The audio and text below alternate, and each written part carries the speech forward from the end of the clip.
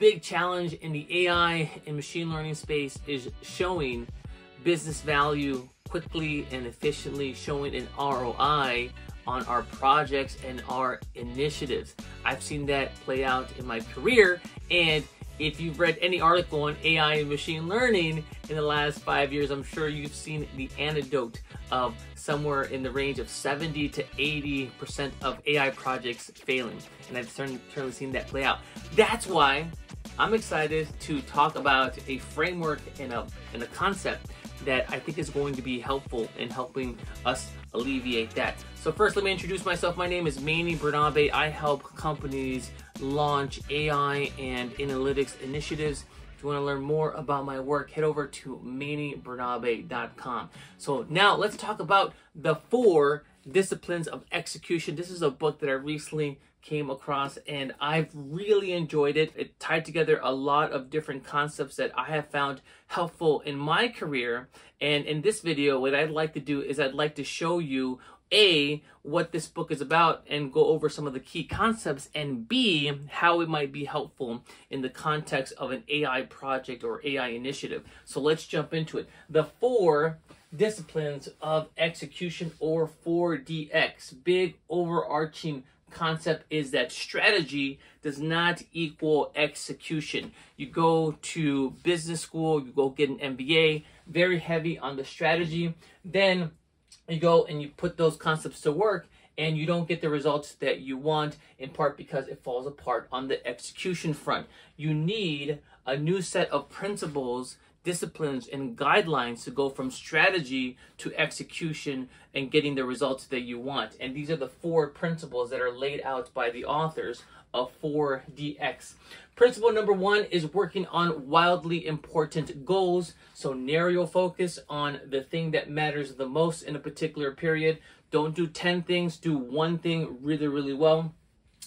Discipline number two is acting on lead metrics rather than lag metrics. A lag metric is something like revenue in a quarter or customer satisfaction that happens after doing a fair amount of work. Lead metrics are the metrics that you can do week to week that are going to help you generate that lag metric that you want to have over a period. So if your lag metric is to generate $25 million in sales in a quarter, then your lead metric might be the number of leads that you're that you're generating in a particular week, the number of calls that you're making, the number of lead magnets that you're doing, the number of videos that you're doing in a particular quarter, such as this one. So those are the lead metrics that you can control, and that's really what you want to focus on and and and keep that top of mind. Discipline number three is having a compelling scoreboard. So you have a, a, a, dashboard or scoreboard where everybody knows whether or not the team is winning or losing and what points have been put on the board, quote unquote, that are helping to drive lead metrics that are ultimately going to help drive the lag metrics. And then discipline number four is having a cadence of accountability. So making this a regular practice. You're meeting weekly and you're reviewing your progress towards your WIG, you're reviewing your lag metrics, your lead metrics, you're making commitments to the team in terms of what you're going to do to help drive performance and that becomes a habit and a discipline that you instill within your team. So a very very nice concept and framework here and i really enjoyed it in particular this focus on lead metrics. I got to tell you this is a really powerful concept here this lead metric concept and also the scoreboard the fact that you can look at a, a, a dashboard and know whether or not you're winning or losing that's really important too. So let's talk about where AI and machine learning are coming into play here. So as I mentioned, AI does not equal business value. We've seen this play out quite a bit. Very difficult to go from a data science model to actually generating some revenue or some cost savings off of that and showing the return on those initiatives.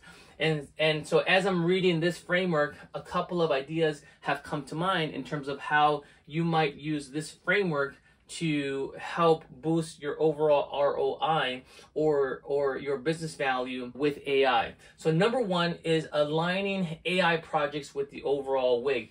I can I, there's been a number of times when I've been brought into a team to do AI analytics, data driven type of work, and I want to help them, but if they don't have an overall WIG, an overall big goal, that they're working towards, it's difficult for me to do that. It's difficult for me to build a model for to, for generating the results that are going to be valuable if they themselves don't know what results are are valuable, and that happens quite a bit. So number one is you know when you start a new AI project, try to think about what's the overall wig for that team and try to align your AI project so that the the the the output of that project is going to help with that wig or is at least aligned with that particular wig for the team.